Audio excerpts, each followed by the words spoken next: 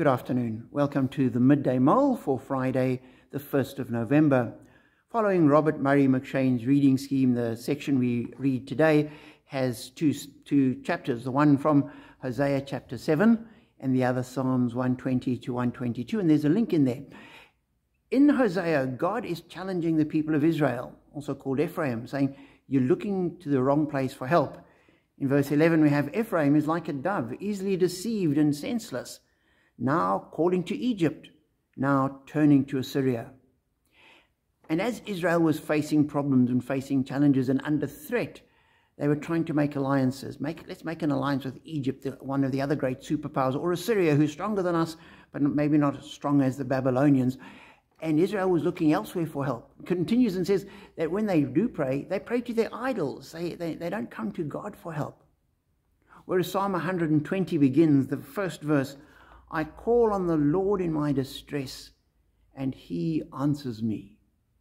For the psalmist, that was the first place he went, facing distress, calls on the Lord, and the Lord answers him. And it got, got me thinking about who do we rely on and where do we put our faith and our trust? Um, and I think there are a lot of people we will go to church, but our faith is in our investments, in our pension, in our job, in our family, in all sorts of other material things around us. Um, and when that's under, under threat, we don't know what to do. Whereas our, our, our confidence needs to be in God. Like the psalmist, I call on the Lord and he answers me. That needs to be our experience. That is our experience.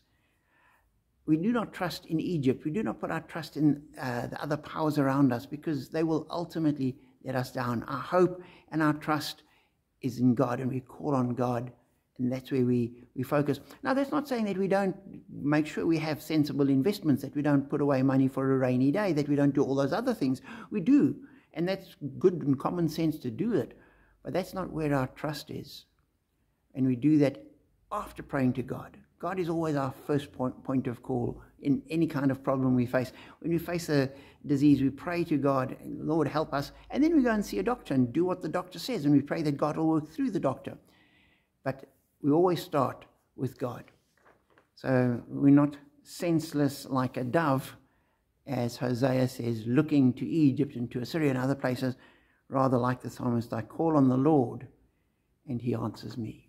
Be encouraged as you do that and know that we are blessed.